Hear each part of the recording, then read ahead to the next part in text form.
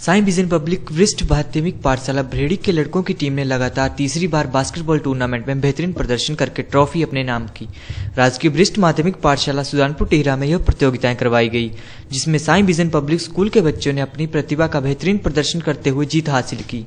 Tournament में vision school ने Him academy Hamirpur, Tauni Devi व बगवाड़ा स्कूलों को फाइनल में हराकर ट्रॉफी अपने नाम की। यह लगातार तीसरी बार टीम विजयी रही है। वहीं टीम का स्कूल में पहुँचने पर भव्य स्वागत किया गया। इस सफलता के लिए स्कूल के चेयरमैन वीरेंद्र चौधरी व प्रधानाचार्य सुनीता देवी ने बच्चों और अध्यापकों को बधाई दी।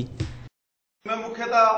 जो हमारी योजनाएँ हैं, प्रधानाचार्य मैडम का कार्य है और साथ में जो कोच हमारे मनोज संजीव जी हैं, डीपी हैं, इन्होंने काफ़ी मेहनत बच्चों ने की और मई जून की तपती हुई धूप में बच्चों ने जो है वो मेहनत की है। उसका ये परिणाम है कि आज लगातार तीसरे वर्ष बहुत बड़ी बात होती है, लड़कियों के वर्ग में भी तीन वर्ष हमें लगातार जीते हो गए, लड़कों के वर्ग में भी लगातार तीन तीन वर्ष से हम जो बास्केटबॉल में जीत रहे हैं, ये स्कूल के एक कुशल प्रशासन की, साथ ही साथ ये जो बच्चों की मेहनत है, और उससे भी बड़ी अभिभावकों ने हमारे ऊपर भरोसा करके दूर दूर से खिलाड़ी